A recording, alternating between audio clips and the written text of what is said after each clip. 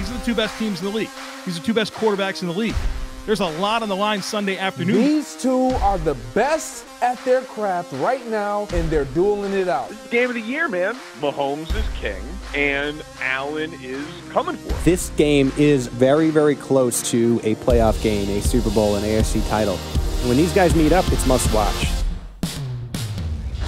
And it's caught by Kelce! Touchdown!